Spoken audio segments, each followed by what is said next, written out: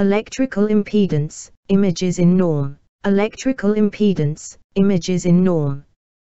While evaluating the images, the following factors are to be taken into account. Electroimpedance anatomy. Correspondence of the electroimpedance, image to the age type of the breast structure. Presence of contour deformation of the image. Abnormality in the internal structures architectonics. Presence of focal masses, and the pattern of the contour around them. Difference in images, depending on the scanning position and side. Symmetry in the diagram of the frequency distribution of electroconductivity. Electrical impedance, images in norm. EIM, juvenile type, 22 years. 50 kHz. Correspondence of the electrical impedance, image to the age type of mammary glands structure. Absence of deformations of the image contours. Distinct architectonics of internal structures. Absence of focal masses absence of a difference in images depending on the patient position and side of scanning. Symmetry of the graph of frequency distribution of the conductivity. Electrical impedance, images in norm. EIM. Reproductive type. 39 years. 50 kHz. Correspondence of the electrical impedance, image to the age type of mammary glands structure. Absence of deformations of the image contours. Distinct architectonics of internal structures. Absence of focal masses. Absence of a difference in images depending on the patient position and side of scanning. Symmetry of the graph of frequency distribution of the conductivity. Electrical impedance, images in norm. EIM. Premenopause type, 43 years. 50 kHz. Correspondence of the electrical impedance, image to the age type of mammary glands structure. Absence of deformations of the image contours. Distinct architectonics of internal structures. Absence of focal masses. Absence of a difference in images depending on the patient position and side of scanning. Symmetry of the graph of frequency distribution of the conductivity. Electrical impedance, images in norm. EIM. Postmenopausal type, 63 years. 50 kHz. Correspondence of the electrical impedance, image to the age type of mammary glands structure.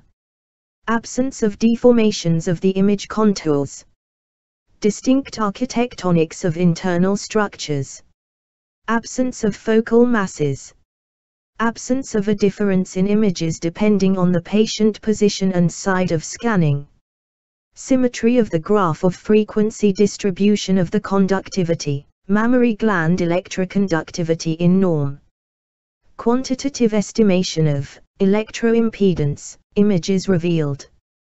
There is no statistically significant difference between the average electroconductivity indices at different positions of examination, lying, standing, and various sides of scanning, left, right, at all levels in respective age groups and at a frequency of 50 kHz and 10 kHz, since there are no significant changes in the mammary blood flow depending on the body position and side of scanning of the patient there is no statistically significant difference in the indices of the mammary gland electroconductivity, in norm electroconductivity in different phases of MC, in corresponding groups at both scan frequencies.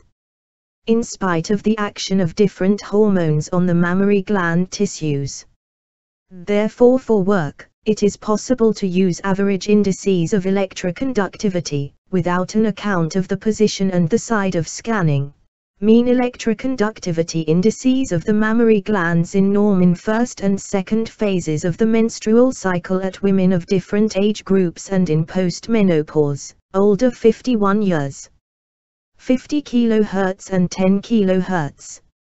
Second scanning level, plus or minus SD.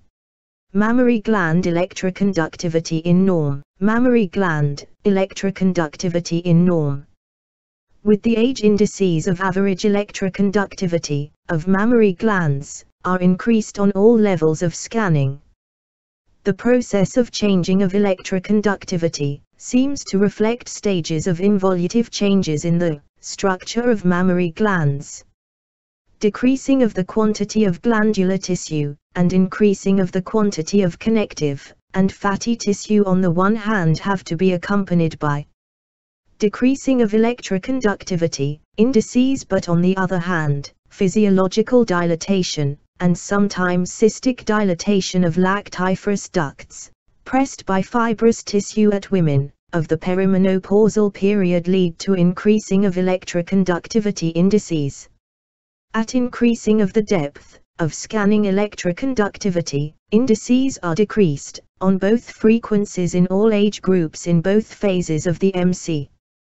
This is explained by decreasing of the quantity of glandular tissue, with well-developed lactiferous ducts tree, in accordance with increasing of the depth of scanning.